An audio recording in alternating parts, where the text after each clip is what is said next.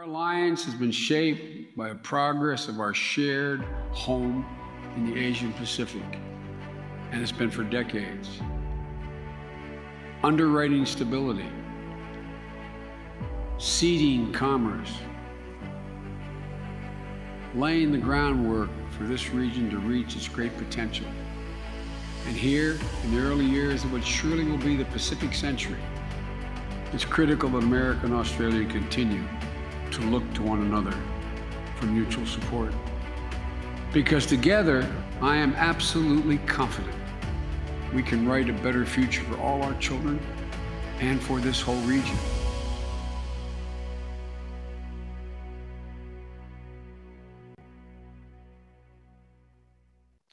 Good morning, everybody. Welcome to another Alliance at 70 United States Studies Center webinar. I'm Simon Jackman, Professor of Political Science and CEO of the US Study Center here at the University of Sydney on Gadigal country, part of the Eora Nation, and we pay our respects to elders past, present, and emerging into First Nations peoples wherever you might be listening to us from today.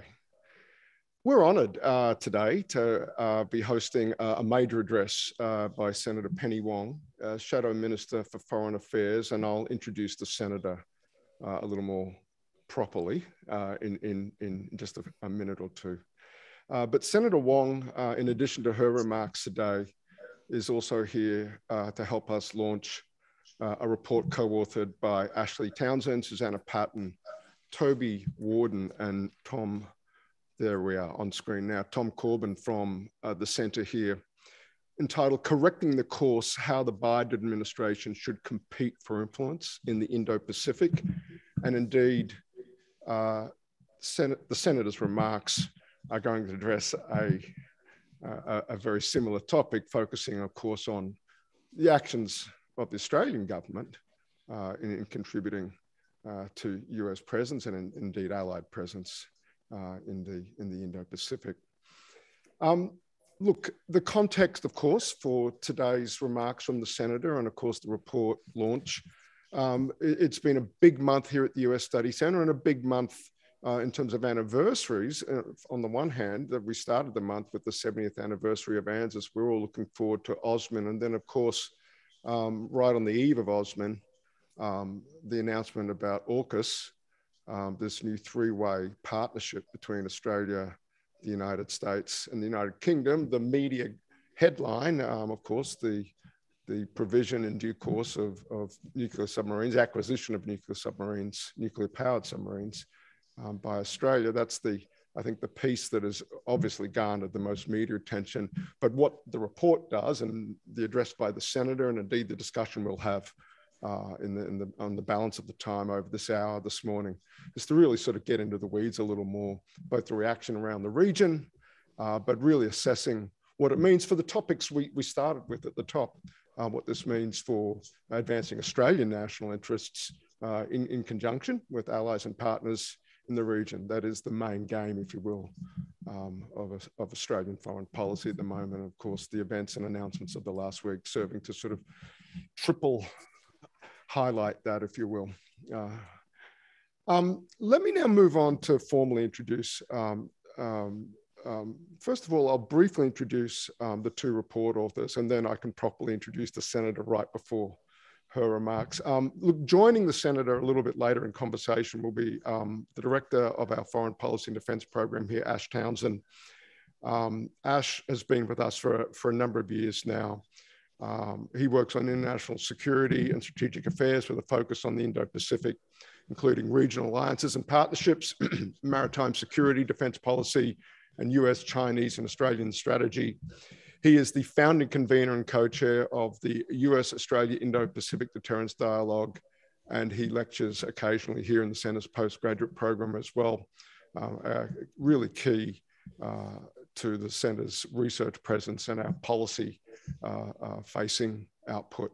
Um, uh, joining us today, Susannah Patton, who has been with us just for a couple of months now, a really significant hire for us here at the US Study Centre um, because up until quite recently, uh, Susannah was a senior analyst in the Southeast, pardon me, Southeast Asia branch at ONI, the Office of National Intelligence, Australia's peak intelligence assessment agency.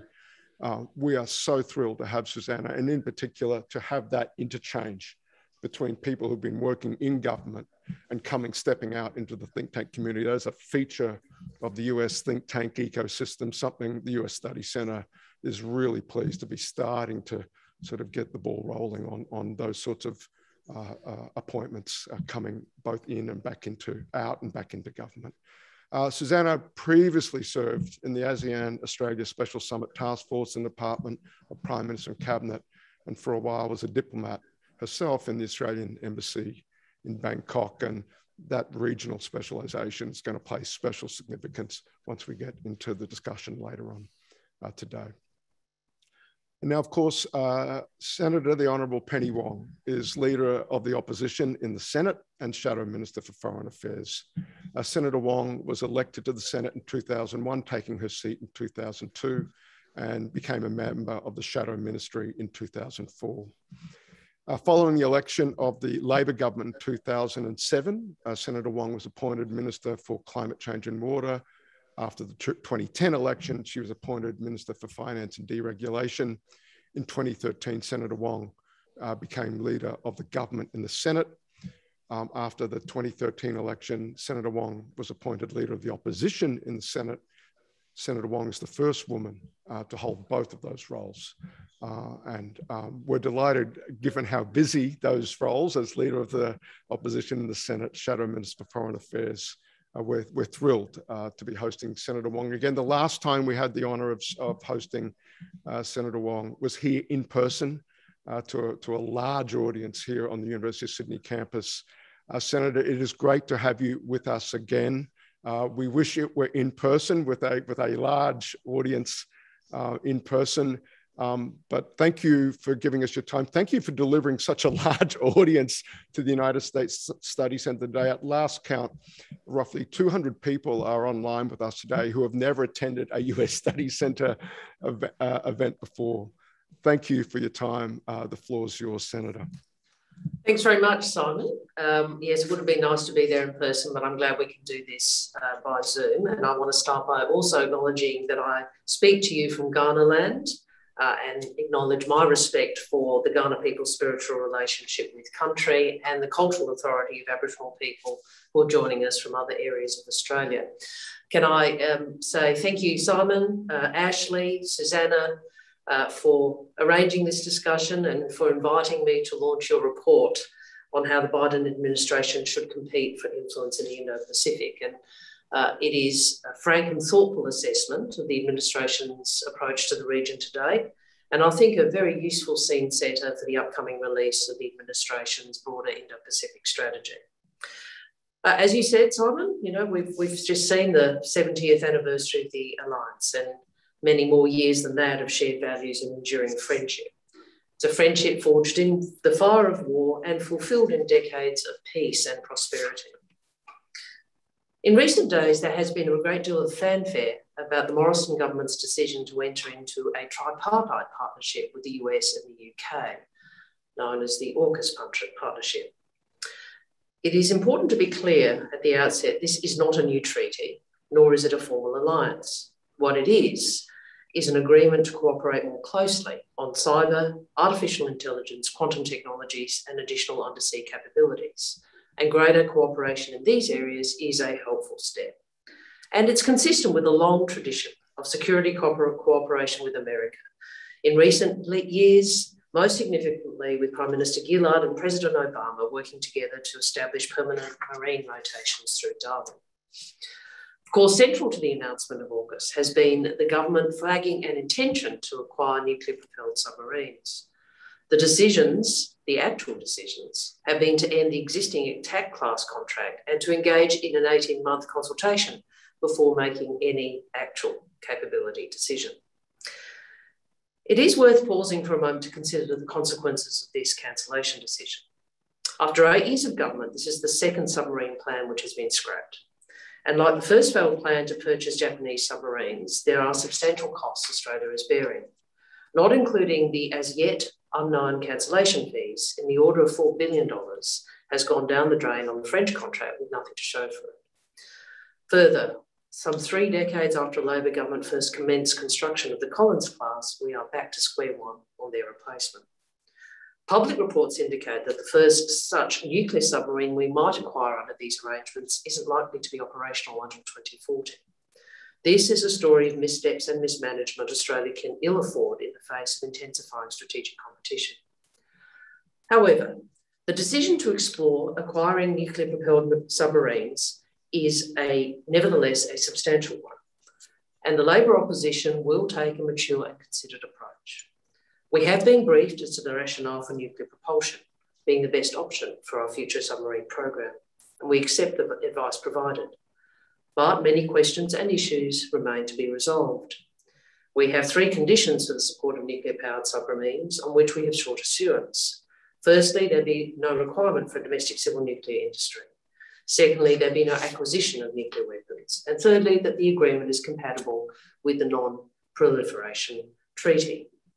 And the government has said these conditions can be met, and we will hold them to these commitments.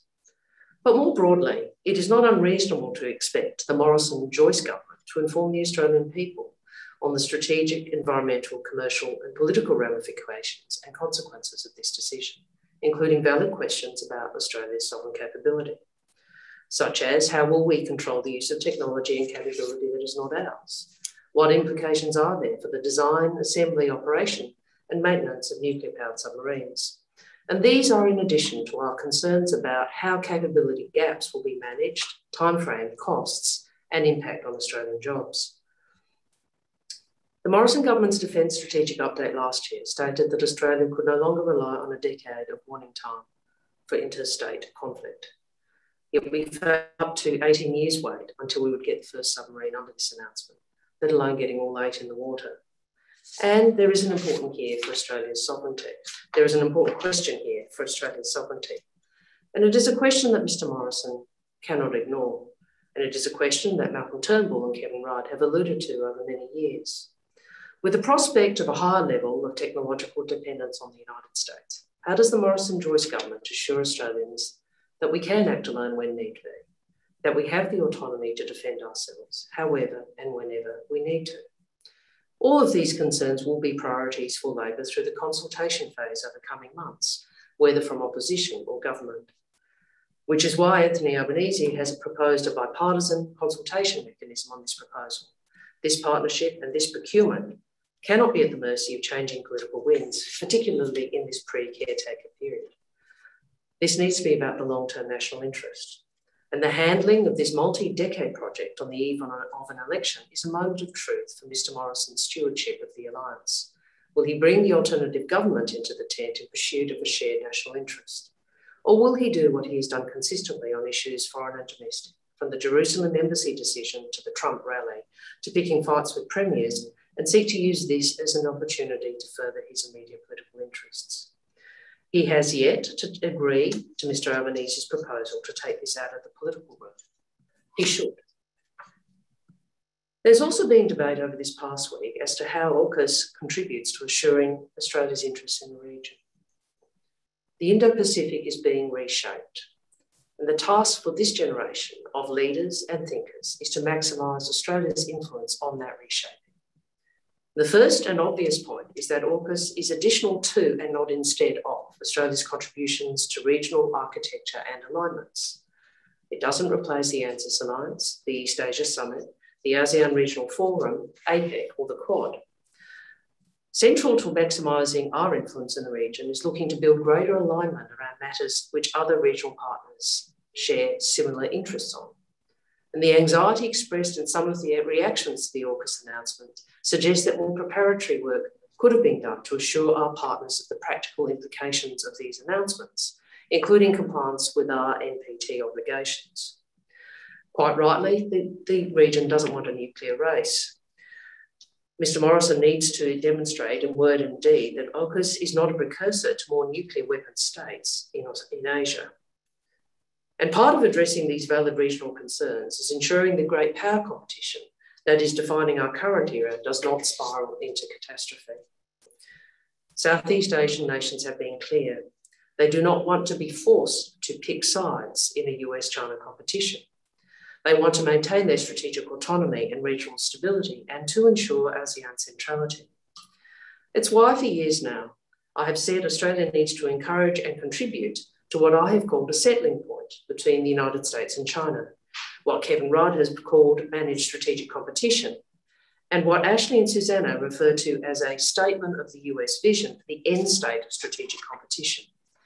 And as their report makes clear, effective US competition in the region requires comprehensive economic outreach, not just strengthening the US's military presence. Deeper US economic integration will demonstrate the US can compete effectively, help address the region's needs, and build shared prosperity. It is why Anthony Albanese emphasised the value of the US rejoining the CPTPP on the day that President Biden was inaugurated. But it is also up to Australia to lead within the alliance, to demonstrate our value add by being a partner of choice in the region. Working with partners in the region to build our collective security, to diversify our export markets, to secure supply chains, provide renewable energy and climate solutions, avert, avert coercion, and respond to natural disasters. By investing financially and intellectually in the security and stability of our region, because defence capability on its own won't achieve this. We share with ASEAN states an abiding interest in averting hegemony by a single power. So, this is where our energy must be applied. And our strategic ambitions must be matched by equally ambitious efforts to respond to the region's needs. This, of course, requires a bigger investment in our diplomacy, including our economic engagement and our development program. And it again reminds us why regional perspective should have been better factored in to how the government executed the AUKUS announcement. As this audience knows well, we face the most challenging set of strategic circumstances since the end of the Second World War. We are operating in an environment that requires Australia to work much harder to secure our interests. Submarines might help protect the region, but on their own, they won't build the region we want, a region that is stable, prosperous, as well as respectful of sovereignty. And submarines can help our national defence, but won't of themselves prevent efforts at economic coercion. Yet last week, Mr. Morrison had an air of mission accomplished about him when the response to the announcement made painfully obvious that only a fraction of the job has been done. International reactions highlight how much work there is to do with other partners in our region. The lack of diplomatic legwork has been most acutely observed by the French reaction. France ought to have been shown the due respect of a partner with shared Indo Pacific interests. Instead, it's been reported that having failed to put in the work before the announcement, Members of the government are now describing the French as, and I quote, having a sook. Well, a marketing man should be able to tell you that perceptions, narrative, and words matter, as well as understanding how negative perceptions can be used against the interests of the nation. You see, it won't just be France that might have doubts over whether Mr. Morrison can be trusted as an honest partner. After a letter from his government saying they were satisfied with the project, the French subs project, was delivered to the Macron government on the same day as Mr. Morrison's television announcement that the project was being built. So now, while he's in the United States for the Quad Leaders meeting, Mr. Morrison is in damage control rather than focusing only on advancing Australia's interests. As Simon said at the outset, uh, we, we, are in the, we are looking to a Quad Leaders Summit this week. So we appreciate and welcome the Biden administration's hosting of the first Quad Leaders Summit. With the momentum of the past year and promises made by its members, the Quad now has an opportunity to demonstrate its value in the region. It has always been clear that we will not prevail over COVID until we prevail over it everywhere. And the pledge of a billion vaccines for the region is a welcome step. But, we, but much more needs to be done both in the region but around, and around the world. So we welcome President Biden's uh, call this, this morning for the world to step up as he said, we need to go big. And we look forward to seeing what specific commitments will be delivered to countries currently grappling with Delta outbreaks, including Indonesia. Because for all of the Morrison government's promises to deliver vaccines to Indonesia, we have seen piecemeal delivery and belated assistance. And we also hope to see progress within the Quad's climate change working group. President Biden has made this a priority within the Quad and across the US's global outreach. And Mr Morrison's failure to commit to net zero is leaving Australia behind and risks undermining our relationship with the US. It diminishes us in the region, thus hobbling our ability to add value to the alliance as a partner of choice for our neighbours. From climate to health to security to critical technology, the Quad should have a positive regional agenda with practical outcomes. Our partnerships and alliances across the region, including the Quad, are our advantage. But Australia needs to show we can lead the way and deliver for our regional partners, especially for those people of Southeast Asia and the Pacific.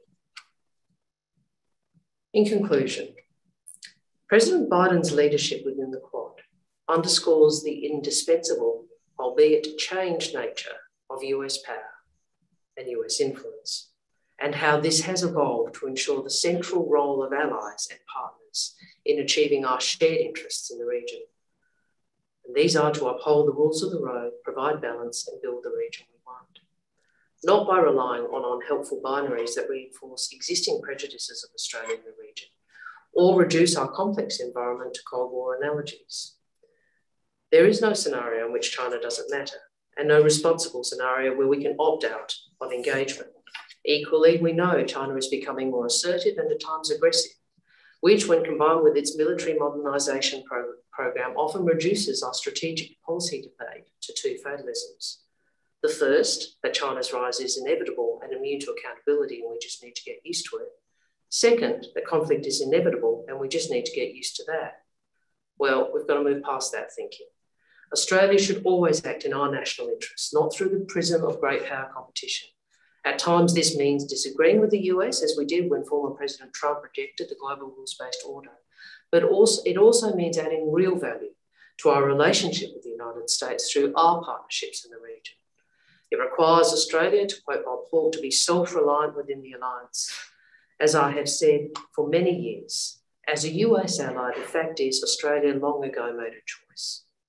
But that is not the end of the matter. So finally, I'm so pleased to be part of launching this report and such a valuable contribution from Susannah, Ash, and from the Centre to effective US engagement in the region. Thank you very much, Simon. Thank you, Senator. Um, by prior arrangement, um, I'm going to direct a, a few uh, opening questions to Ash and to Susannah to reflect um, on elements of, of the Senator's speech. Ash, first to you. Um, in the senator's conclusion, uh, the, the observation uh, that Biden's leadership in the Quad, quote, underscores the indispensable uh, nature of US power and influence in the Indo Pacific. Um, look, since you finished, literally the ink got dry on the report. In the, in the intervening weeks, um, we've had, of course, the, the AUKUS announcement, um, some specifics around US Australia force posture, and now um, we've got uh, later this week uh, the first ever Quad Leaders Summit. I'm wondering, has anything changed in, in the midst of those announcements and developments? Change anything uh, that you put into the report? Thanks, Simon. Um, it certainly has been a momentous uh, couple of weeks for US Indo Pacific policy and certainly for Australia and, and, and our alliance with the United States. I think it's important to recall here that the core of our argument really boiled down to, to two things. First, uh, the US uh, hasn't and hasn't for some time decisively prioritized the Indo Pacific as its core regional focus, nor articulated a vision for the end state of strategic competition with China, which, which in our view um, is, a, is a process, is is an undesirable phenomenon and is certainly not a plan for the region. Um, as Senator Wong just said, what we want is to see the United States go big in Asia and big across all domains of regional power and influence. And this still hasn't happened. Um, now, we're waiting for the Biden administration to release its Indo Pacific strategy in the coming days and weeks. Um, and, and we do have some reason to be uh, optimistic uh, that the Biden administration is paying more attention to um, regional issues as opposed to a global competition with China. But even the president's uh, speech at the United Nations General Assembly this week, uh, where he flip flopped on the importance of the Indo Pacific relative to other parts of the world, and we might give that to him considering it is the United Nations, but does go to this key issue that for a long time and since the rebalance to Asia was articulated a decade ago, the United States has still not focused and directed the lion's share of its resourcing to the Indo Pacific. And that worries Australia and that worries US allies and partners in the region. Um, to the point about the global versus the regional, and again, a point that Susannah and I and our other co authors stress a lot in the report, um, we haven't yet seen necessarily decisive change on that point. The AUKUS agreement is very important from the perspective of empowering two decades from now, in the case of the submarines, um, uh, Australia, a key US ally in the region, to do more for its own security and to play a bigger role in collectively upholding and stewarding a, a favorable balance of power in the region. And there has been, in the US context, very significant movement on that front. We've wanted sensitive US technology for decades, including nuclear propulsion technology. US allies always want the top shelf technology from the United States where they can get it, but the United States has not always been willing to share it. So we have seen a shift and a sea change, pardon the pun, um, on this particular issue. Um, the United States has done a similar thing with the Republic of Korea earlier this year, where it again changed a key um, a, a, key element of its ballistic missile control regime to enable South Korea to more effectively defend itself against North Korea and in the context of a rising China. Uh, but these things, as Senator Wong made quite clear, um, are not going to pay dividends in the immediate term in the Indo Pacific. They won't boost US influence in the jostling for power and position that is going on right now. And they are no supplement for an effective, comprehensive strategy uh, in the region. Uh, so, from, from my perspective, the, the military piece and the alliance empowerment piece is moving in the right direction, and I think we'll see more. But you can get this part of the regional puzzle right and get the Indo Pacific strategy writ large quite wrong. Okay. Uh, Susannah, um, same question to you. Um, how do developments of recent weeks, how do they change or not um, the assessment um, that you put forward uh, and your contribution to the report about US Indo Pacific strategy?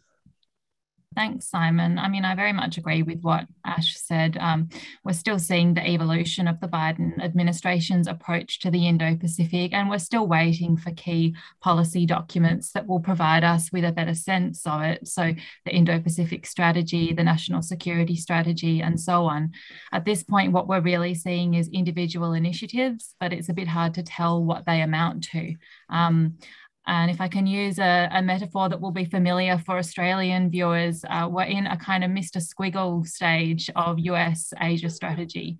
That is to say, we can see individual components of what the US is doing, like AUKUS and like the Quad Leaders Summit, but it's still a bit hard to tell what the overall picture is going to be in terms of a cohesive Asia strategy. Um, and as we set out in our report, one of the key things that is really missing is an economic strategy, which Senator Wong touched on in her speech. There really is no alternative way of signalling the US intention to remain committed to the region and to indicate that its presence is a benign and mutually beneficial one. And that's especially important in Southeast Asia. And it needs to be a trade based approach because infrastructure will take years, if not decades, to be delivered if it relies on leveraging the private sector. But I think the good news is that the administration has shown that it can pivot, if I can use a loaded term. It sent high level visitors to Southeast Asia after it was criticised for not doing enough there. With AUKUS, it's done something that no one anticipated in terms of technology sharing. And it's done those things because the strategic stakes are very high. It has the most Asia expertise, um, possibly of any US administration. So I think Australia should continue to be quite ambitious and pushy in terms of our demands of the administration. And that means not giving up in terms of the economic side, despite the well known political challenges that that poses in the United States. Terrific, Susannah. Uh, look, there's a lot coming onto the table in your, in your responses. Um, I'd, I'd, like to direct a, a, question back to the to the senator now, uh, picking up on uh, some elements of the speech. And look at and if this were an in-person event the the back and forth among the three of you would would happen a little more naturally. I, I may force feed that over the remaining half hour that we that we've got. Um, so um, but please do jump in um, and um, in response to one another if, if, if that's possible. Senator um, in the speech um, you said that AUKUS raised an important question for Australian sovereignty, uh, and that is namely how to manage uh, the higher level of technological dependence on the US that it necessarily entails, and to ensure that Australia has the autonomy to act alone and defend ourselves when we need to. Um, look, how difficult is that going to be, and how concerned are you um, that you are that Australia is at risk of, of, of falling short of that aspiration, as you said, Bob Hawke uh, famously uh, talked about self self reliance within an alliance context. Mm. Uh, thanks very much for the question, and, and I thank um, Ash and Susannah for those very uh, insightful uh, responses to your opening questions. I'm trying to work out if I can get a Mr. Squiggle analogy into any answer, but I don't think it's I'll good, be able to. It? it was very clever. um, but look, I'd, I'd rate, you know, we've been consistent in supporting the AUKUS or AUKUS, as I think Ash and Susannah want to um, have been using. Um, and we've Labor's indicated we, we've been briefed and we, as I said in the speech, we accept the case that's been made on capability. But I think it is entirely reasonable to talk about, to talk about how these new arrangements will be implemented. Um, look, the principal benefit that we have derived from our relationship with the United States, including the alliance, uh, has been access, or uh, I suppose I think Kim Beazley always talks about it as a force multiplier. It's been access to advanced technology, to intelligence, and re- over more recent years, as I go to the speech, greater interoperability. So I think this new arrangement is uh, not entirely new in terms of kind or character, but it is different in terms of degree. So we just have to think through, as we have with uh, previous arrangements, how it is we ensure we retain our independent decision making capacity in circumstances where there is a, a, a greater degree of technological dependence and we need to ensure that the arrangements that we enter into reflect, you know, that desire desire for um, st- our own st- sovereign strategic capability. Um, Ash, I'll, I'll ask you to, to pick up on that as a, as a long-term student, um, long-time student of Australia's alliance relationship with the US in particular. This issue looms large, not just about the nuclear submarines, but um, pick a platform, uh, pick a moment uh, in, in the alliance's maturation over the years. Um, the issue of technological dependence and, and does it, as, as, as the Senator referred to, uh, echoing uh, uh, our good friend Kim Beazley, force multiplier versus the dependency side. Um, I'm wondering if you've got a, a, a, take on that, sort of drawing over the perhaps a, the, the long view of, of the alliance. Look, thanks, Simon. Um, I, I, think both things uh, can be true simultaneously, and it's a balance Australia has always had to strike between accessing and having a military that is technologically reliant on the United States, as is currently the case, but also one that is self reliant within that context and able to have sufficient capacity to service, maintain, and operate Australian sovereign military capabilities by itself at a time and choosing of our own. Um, and I think it's going to be critical for Australia as the terms and conditions around AUKUS or AUKUS or whatever the Americans call it um, uh, get bashed out over the coming weeks. Um, the way I see AUKUS is that it is a, it has the potential to to deliver to Australia something we've wanted for a long time, which is not just the submarine propulsion technology, but a capacity for defence and technological um, industrial base integration that would allow Australia both to access the most effective technology from within the tent, so to speak, a kind of defence tree free trade zone, as my colleague, former colleague Brendan Thomas Noon always talked about, but at the same time also put more Australian innovation back into the US system. The US, Australia, and the UK can together share that kind of technology in ways that other partners simply can't. That's already true, and that gives us a capacity to do more. But in that context, it's important that we make sure that we get the kind of US support for technology transfer and the transfer of technical know how that will allow Australia to graft bigger and better capability in our own local sovereign defence industry. That's going to be critical to the way that the government implements a sustainment, maintenance, and logistics hub for you know allied submarines, which is the talking point coming out of AUSMIN last week, and I'll be watching for those details. And I think scrutiny of that decision is going to be key to making sure that it does pay that kind of dividend to Australia. Um, let me just finish with one point, Simon. As you say, you know, our, our military is already technologically integrated, right? Our, our anti-submarine warfare aircraft, the P-8s, have their engines maintained by Americans in the United States. Our F-35s, our electronic uh, warfare airplanes, uh, rely on US sensitive mission data you know, the Australian military can only talk to itself because of US satellites and technologies and systems that are integral to a networked 21st century military. We're in this deeply. That is not going to change. And I think we haven't yet seen that Australia has faced um, sort of leverage by the senior partner in the alliance to do things that we wouldn't otherwise do using that technological dependence as a weapon. Now, of course, people might argue that the general um, alliance management um, instincts of Australian governments have been the reason why we've become embroiled in conflicts of peripheral interest to Australian uh, security, as I have myself, and that certainly includes the last 20 years in the Middle East. But the notion that the United States you know, has to fight for primacy in Asia in order to be able to keep maintaining our submarines. Or on the other hand, that this inevitably integrates us into US war plans over Taiwan, I think overstates the way that um, when junior allies become more technologically powerful, they actually have enhanced bargaining power within the alliance. Um, the Cold War has shown us that in the European context, certainly shown us that in the nuclear context. And I think that is uh, something that we should bear in mind as we look to how this uh, detail unfolds for Australia. Um, of course, Senator, always, um, if, if you want to react to, to that, um, um delighted to have have your way in on that. Um, but otherwise, uh, I might. Oh, no, um, I thought that, I thought yeah, that was go a for good it. answer, Mash, actually. What's that? I thought his was a very good answer because he, he went to yeah, uh, but because he went to you know I think these the, the point that we have reasonable that the the arrangements should reflect some of the imperatives both on capability but also on our technological base that that Ash went to I think was was a sound one. I agree with it. Thanks, Senator.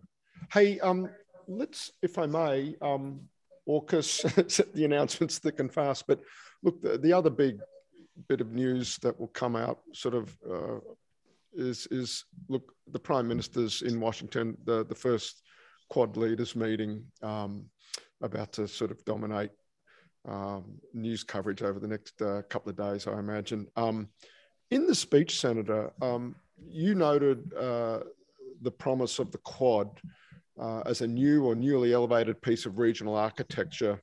Um, look, a, a, key way that Australia's always worked to try and draw the US into Asia has been through uh, regional architecture, and, and indeed, um, you know, uh, previous Labor governments have have uh, have real uh, triumphs to point to there, and, I, have got APEC in mind, and and the East Asia Summit being some of that regional architecture um, that, that Australia's played uh, a key role and a key role vis-a-vis the United States uh, respect.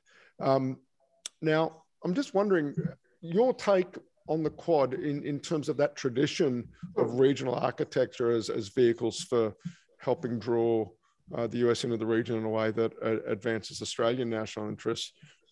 Your, your, assessment of the Quad to date or where you think it's going uh, from that particular point of view?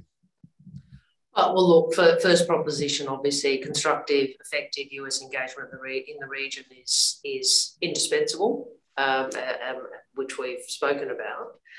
Uh, secondly, you're right, uh, previous uh, Labor governments or Australian governments have ensured or were looked at architectural arrangements as one of the means, as well as other interoperability um, uh, initiatives to ensure there is US, deep and effective US engagement in the region and with us. Um, the uh, I think the Quad is is consistent with that approach, as you said, APEC and EAS.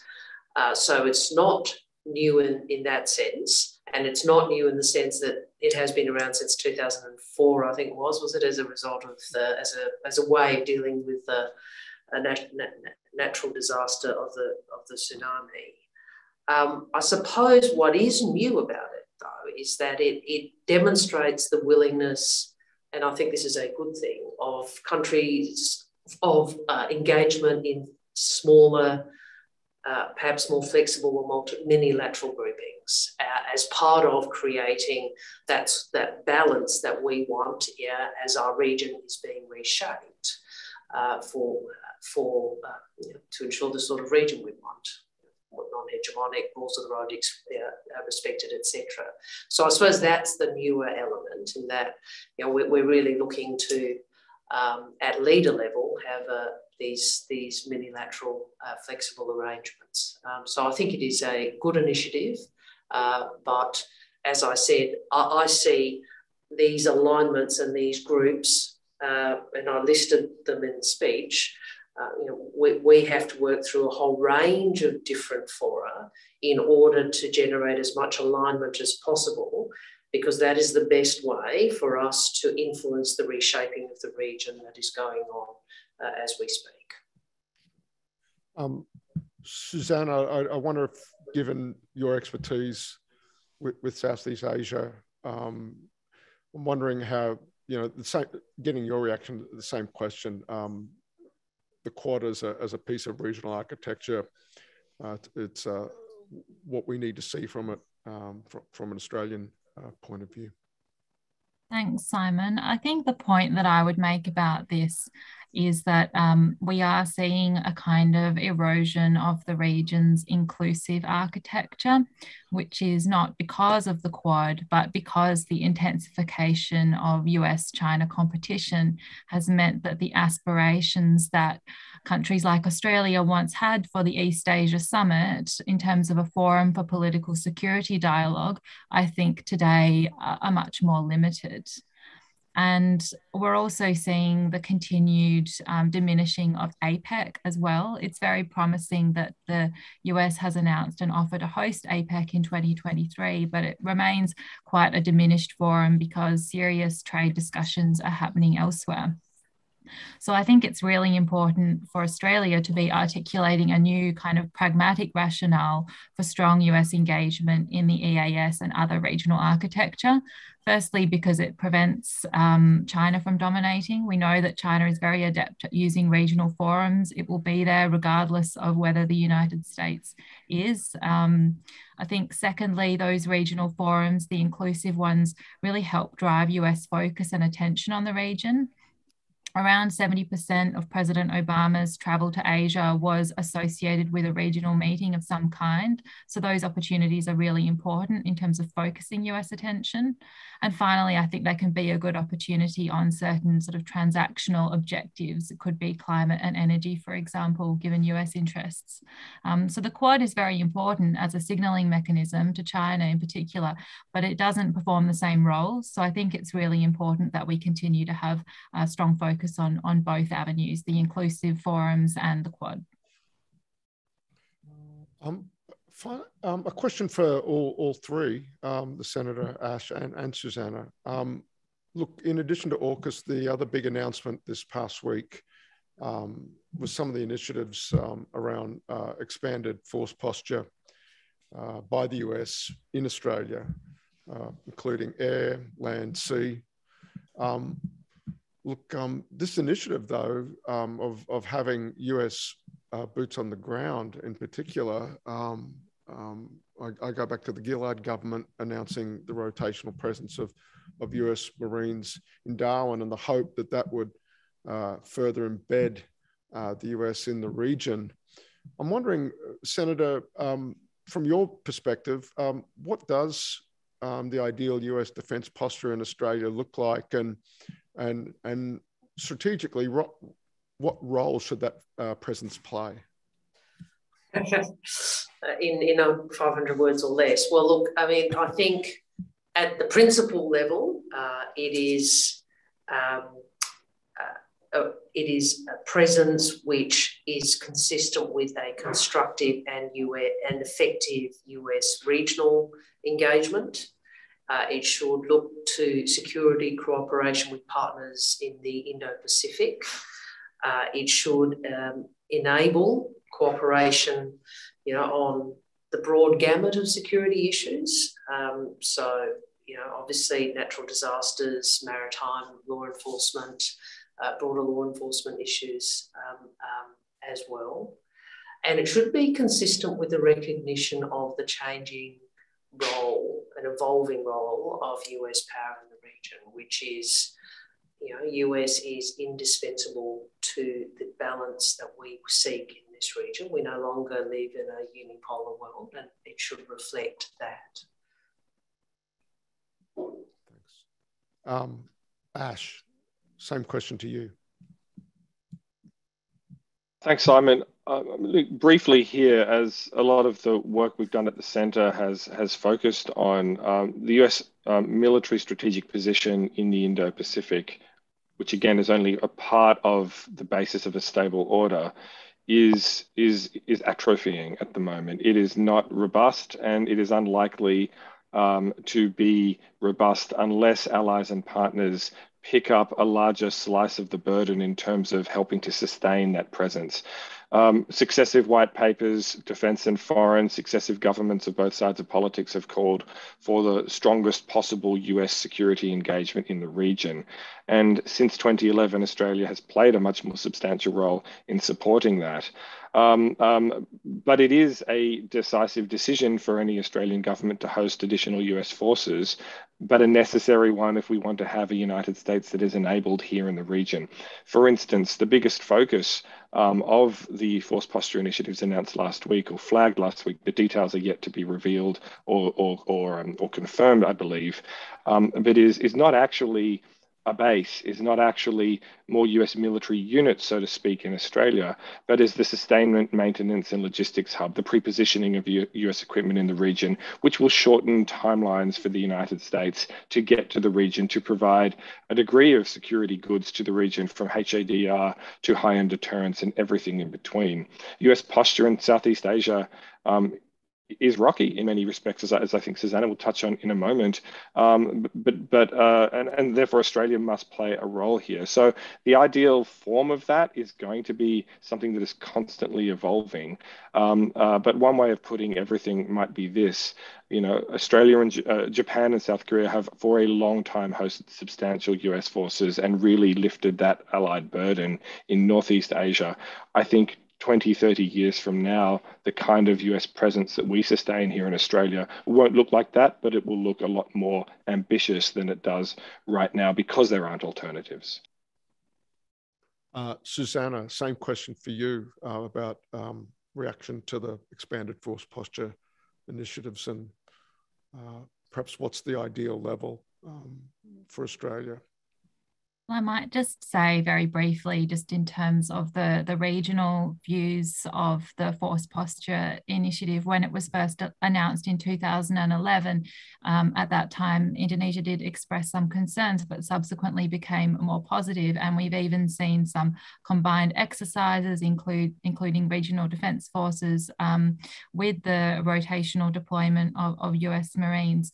So that's, that's really positive. And I think um, there has been a good news story there to a certain extent, which is that regional countries, I think, understand that Australia's concerns are about China and that our strategic policy is not directed against countries in Southeast Asia, which was, of course, once a concern. So that that is positive. But obviously, the regional reaction from, notably from Indonesia and Malaysia to the AUKUS announcement, um, does indicate that there are some concerns about the direction that we're travelling in, which is some something that Australia will, will need to manage. Um, and I think those concerns very much centre around not the idea that we're targeting the region, but that um, but that all countries, um, including both the United States and China, are destabilizing the regional security environment and causing tensions, um, which is a very harmful perception um, for the United States and, and by extension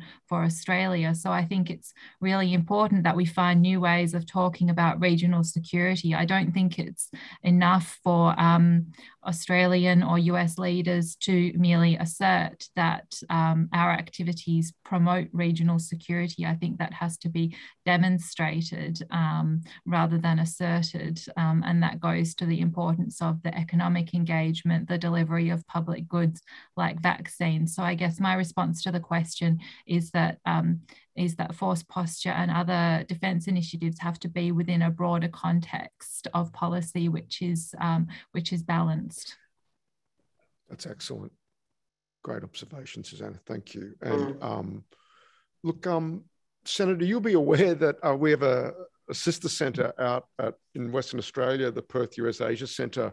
Um, like us, they've recently had the great privilege of having um, uh, someone at a similar career stage, uh, um, not dissimilar career stage, Susannah joining them from the Australian Public Service. Hayley Channer uh, um, was with them for a time. She's now on a, on a Fulbright off, off to the United States. But um, I'd, I'd, I'd, love to bring a question from Haley in, and I'll just read it. Um, Hayley asks, um, uh, how do you, all three of you, how do you think the AUKUS deal will be discussed at the Quad on Friday?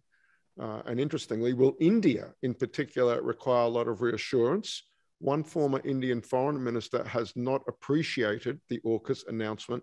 Do you think New Delhi will be pragmatic uh, about this new Australia, US, UK deal, um, Senator? Uh, well, can I say I hope that the Morrison government has done a bit more lead work with uh, India than it appears to have done with the French. Um, and uh, I would hope that the Quad discuss, leader level discussions are an opportunity uh, for uh, the AUKUS announcement uh, uh, of the partnership, um, as well as the flagging of the intention to require acquire nuclear propelled submarines could be discussed in so, so as to ensure that any uh, concerns or so there is clear understanding from the Indians' perspective about uh, this being consistent, as, as Susannah said, with uh, you know, an approach that, that they share as to regional stability and regional security. So I, I hope there is um, that, that sort of discussion um, uh, in the coming days. Uh, Susannah, um, again, your regional expertise, I think, relevant. In um, I'd be very curious in your reaction to Hayley's question think the sense is that India is is broadly speaking very comfortable with the AUKUS arrangement, and that's because, um, uh, I guess, in a way, reflecting its motivations for participating in the Quad now in a way that it once wasn't prepared to.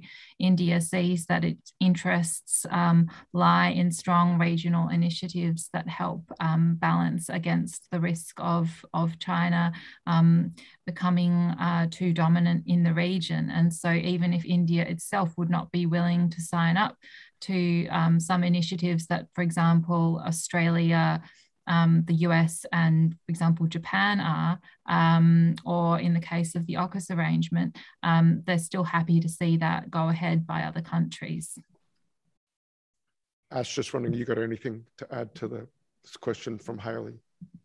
I mean, briefly to, to, to pivot a bit to the to the defence component of that question. Um, again, AUKUS is and should be and must be about the United States empowering allies to help themselves to do more and to be to, to, to, pursue the kinds of capabilities and technologies that they believe they want and need to protect themselves and their friends in the Indo Pacific. In India's case, um, there is still a long standing dispute between the United States and India over whether or not the Biden administration will, in some form, sanction India over its decision to procure Russian air defense missile systems, the S 400, uh, due to concerns about the proliferation or the presence, rather, of Russian technology in the Indian military, which is, as dependent on Russia as ours is on the United States and is a reality that India can't change, and also due to concerns of uh, you know, from the Trump era of of U.S. allies. Um, uh, getting closer to Russia, which uh, was viewed, and of course isn't a good thing. But again, in India's case, it's more of a degree of path dependency in what's feasible. So I think that you know the you know the Indian delegation at the Quad meeting will be asking questions. If you're going to give Australia all of this new technology, including nuclear propulsion, will you be uh, dropping the threat that you've had over our heads for the last you know two years over the CAATSA deal and the S400 and of course that is something that is the administration I think really does need to take seriously. The United States is not unipole anymore. The United States isn't able to defend the Indo Pacific by itself, it will need the goodwill and the participation of others, most especially India. And so I think that if AUKUS is going to have a larger payoff for the Quad, that would be a good start point. That's great, Ash. Thanks for that's a that's a deep below the fold insight there about the dependency of India um, um, uh, on on on Russia and some of those issues sort of going on between India and the US. Um, thanks for bringing that to the table. Hey, look, um, we're coming down. We're less than five minutes to go, um, and we will end on time. Um, I, I want to get one more question in, and and it's something. Look, Senator, this has been quite a lively topic here among us at the US Study Center, and it goes to the way that the US uh, under Biden they've been talking a big game about democratic values as being front and center um, in their approach to foreign policy, uh, the Indo-Pacific included. Um, and, and indeed, you know, Biden in his remarks at Congress really framing, you know, talking about a battle for the 21st century um, at a systems level between authoritarianism and democracy. Um, uh, Prime Minister Morrison's sort of talking about, you know, a, a world order that, that favors freedom. Um, I guess the question is is that the right framework, putting democratic values so front and, and center? Is that always the right way to go uh, for mm. both Australia and, and, and, the US in the region, uh, charting strategies for an Indo Pacific future? So I'm going to start with, um, I suppose, a Labor realist frame, which is we, we take the world as it is and we seek to shape it for the better. So, what does that mean in this context? Well, um, uh, of course, the shaping for the better part is a recognition that you know we are a, a democracy, and we we believe um, democracy uh, is important. It is both an interest and a value, uh, and we should reflect that uh, in our behaviours internationally and at home. So, you know, I, I, have argued for the introduction of Magnitsky legislation to add to our toolkit to send a strong message around on human rights. Um, I think we should live up to these values at home, and I think the recent debate over um, political donations and you know Mr. Mr. Porter's um, uh, anonymous donation and the, the, the failure of the government to have real time disclosure of donations, I think we should we should live up to these at home. Um, but I think we also, if I go back to the first part of what I say, we take the world as it is. We need to recognise in our region that not everybody in this region with whom we share interests has the same view about the importance of democracy. Now, on that, we, we may not agree with them, but that doesn't mean that we can't work with them uh, in terms of uh, aligning on those issues which matter to both of us or all of us uh, and in terms of the shaping of the region we want. So, an obvious example is we work, uh, and the, the, Morrison government works closely with Vietnam on issues associated with the um, UN Convention on the Law of the Sea uh, and um, you know, in relation to the South China Sea and, and, and other parts of the region uh, and the way in which UNCLOS matters. So I, I make the point that you know, we, we have to generate alignment and work to generate that alignment with countries which have very different political systems. And I think it comes back to the point Susannah made, I think, in answer to, to maybe the third or fourth question, where she said, you know, you have to uh, approach um, you have to demonstrate that you're serious about regional stability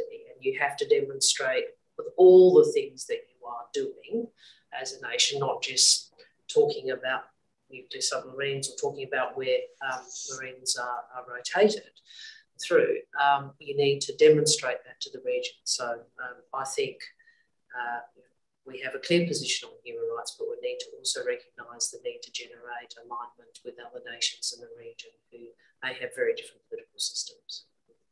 Thanks, Senator. And Susannah, I'm going to give you very briefly, literally 30 seconds, if you, if you might, just given the regional focus of that question, I think it's really great if we could hear from you on this interest versus values dimension. I think that uh, supporting democracy and human rights um, is something that Australia and the United States should be doing in their foreign policies. I think the key distinction to make clear, though, is that that in itself is not the same thing as competing with China. I think um, where Ash and I have written is to say that uh, we shouldn't conflate the ideas of a competition with China being a competition between democracies and autocracies, because actually the true source of China's competitive advantage in the region is on economic issues. And if we cast the competition in this way, then we risk losing it. Well said again, Susannah. That, that's, that's a great way to end our hour today. Um, I want to thank again the Senator, uh, Penny Wong, for joining us this morning. Um, I don't know if you're in Canberra or South Australia, um, but wherever you are, Senator, in Adelaide, getting, in Adelaide. Good, a little, well, a little earlier than here on the east, but not too, not it's not early. Um, thank you, thank you for joining us. Uh, to Ash and Susannah, uh, thank you so much for the work you're doing at the Centre at the moment, really uh, hitting, putting some big runs on the board for the Centre. The debate is fast moving, the announcements are, are coming thick and fast. Uh, the work of the Centre, very, very important at this time in, this, in the Alliance's evolution and, and, and its centrality to the pursuit of Australian national interest. That's, that, so it's great work that you're doing. And I want to thank also Janine, who makes these webinars run so seamlessly for us, Taylor for the fabulous play on 30 second video with, with the Biden voiceover, um, help make the show all that much more professional uh, here at the US Study Center. Uh, thanks everybody. Uh, and, and do keep an eye on the website for upcoming webinars. Um, we'll be bringing those to you over the weeks and months ahead. Thank you again, everybody. Good morning. Thank you.